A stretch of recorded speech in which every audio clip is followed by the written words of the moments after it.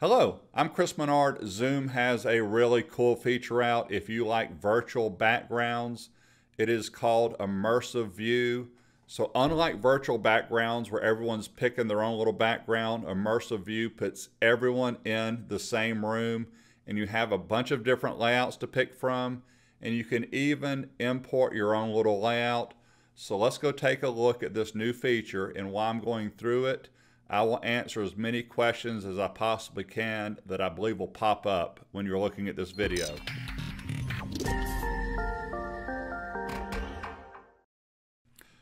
Hey, I've already started a meeting. I'm already in immersive view, so I'm going through here. Here's some Q&A for you right now. First of all, can you use this with a free or basic account? The answer is yes.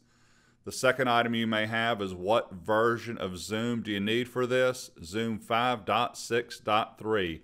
I'm already in this view right now, so let me pop out of it just for a second. Stop, that sounds good. How did I get to this view? Start your Zoom meeting like you normally would. And even though this is somewhat of a virtual background, you don't find this under virtual backgrounds.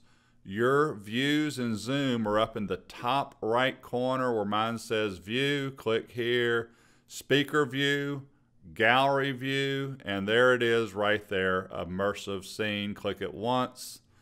When you go here, let me move this out of my way so you can see me.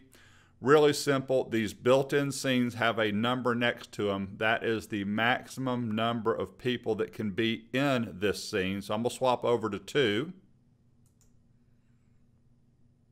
Hit start, it'll hold me and one other person. To swap from this immersive scene to another, view, change.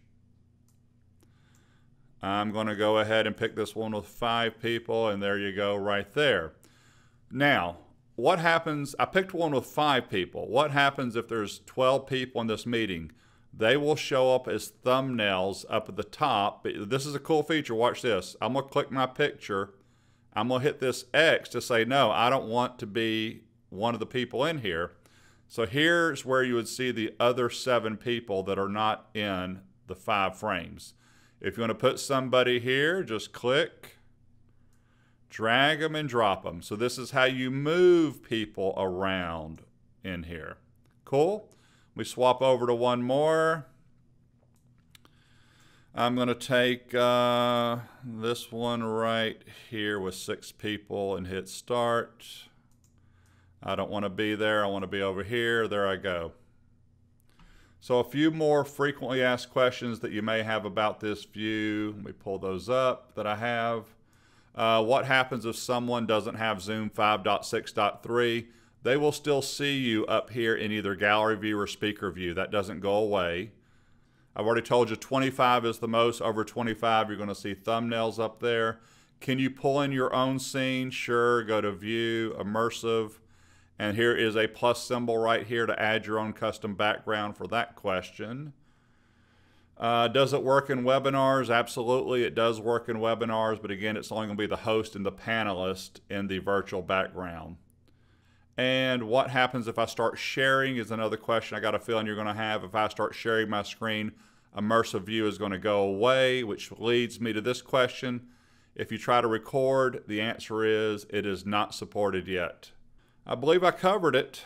I'm going to stop, go back to uh, speaker view, stop. I appreciate your time. If you have any comments or questions about this video, please put them down below. Have a wonderful day and feel free to subscribe. Thank you.